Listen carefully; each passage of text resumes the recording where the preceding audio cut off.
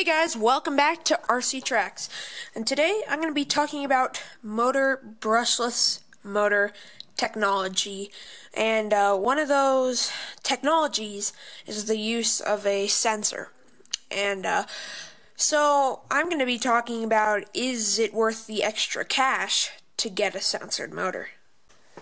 Now, so first, there's a few categories I'd like to go over. Uh, first is price. Uh, sensored, sensorless motors are a lot cheaper in price versus the sensored motor just because they have to have that extra wire sticking out and additional technology is required. Then another category is speed.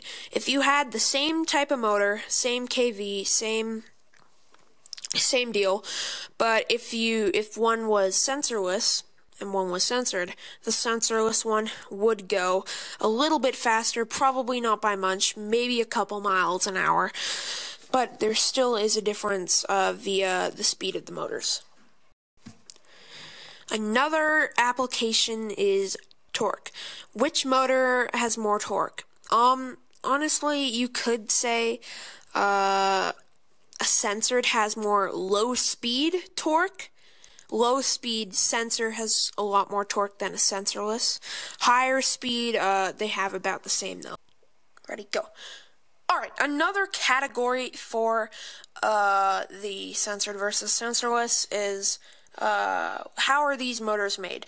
Um, a sensored, uh, sensored motor uh, has a little. Uh, what a sensor basically is is it's an extra wire that goes into the ESC, and um, it's basically a little extra circuitry inside there that tells you where the position of the motor rotor is. So basically, the motor rotor it does rhyme.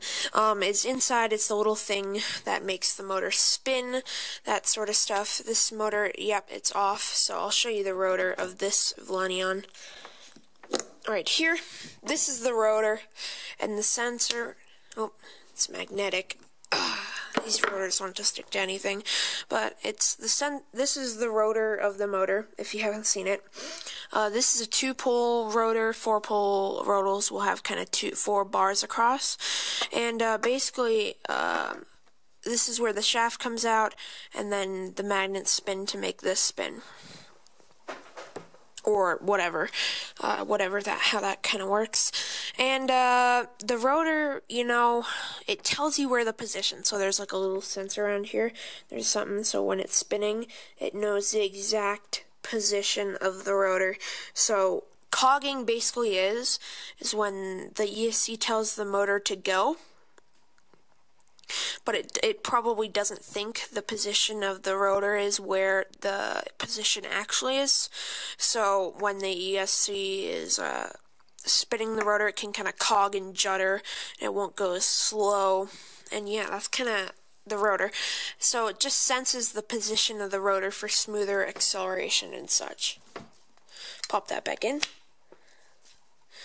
And yeah, that's basically uh, what the rotor means uh, with brushless motor technology.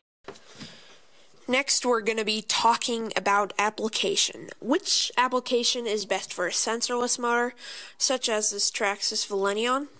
And which application is best for the sensored motor, such as this Trinity Monster Horsepower 13.5? Um, this is a small motor. This is meant for buggies. This is use, usually comes on pretty much every single Traxxas truck.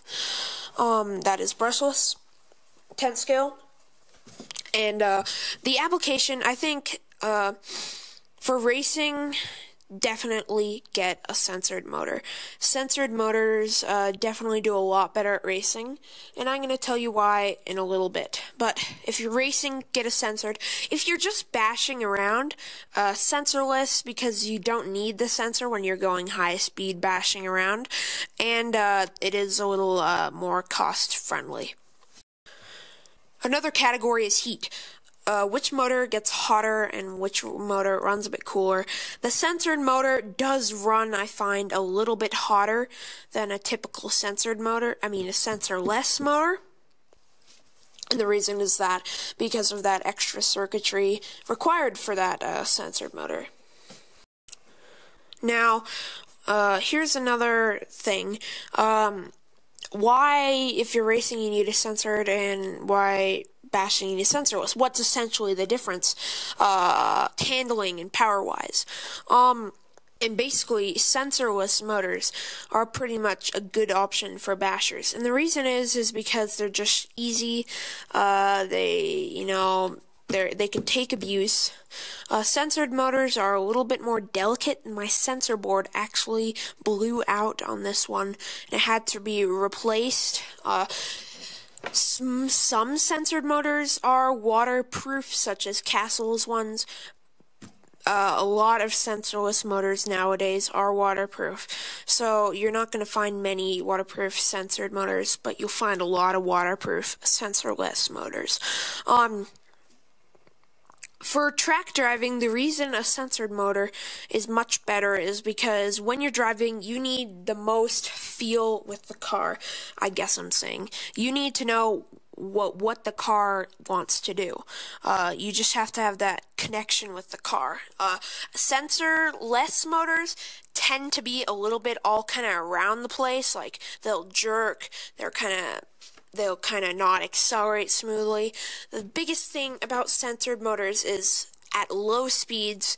They're just smooth. They operate smoothly. You won't get any weird jerks or cogging or anything like that. They can go much lower speed, which is probably good around turns when you're slowing down to really take a big turn. Um, it just has more connection or feel uh, with the driver. Um, sensored motors, I would definitely say better, a lot better for racing. You don't need a sensored motor, but it definitely probably will cut your lap times down a lot. Um, sensorless motors, like I said, are for bashing. Uh, these uh, type of sensored motors, you know, like I said, they're a little bit delicate. You know, there's holes in here and stuff like that. There, this is a complete sealed can, so you're not going to be expecting this thing. But uh, most sensor sensored motors kind of have holes in them and aerodynamic and up there, so they're a little less rugged, I guess I could say.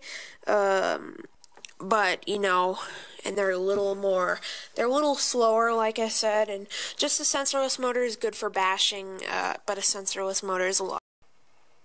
Now, that's my complete comparison for you guys on sensored versus sensorless, you know, which is better for your application, or uh, which one should you get, or what are the differences, kind of answering all your questions uh, about that. And uh, yeah. I'll see you guys in the next video. If you like this video, if I missed something, make sure to comment down below. And yeah, that's about it. RC Trax, signing out.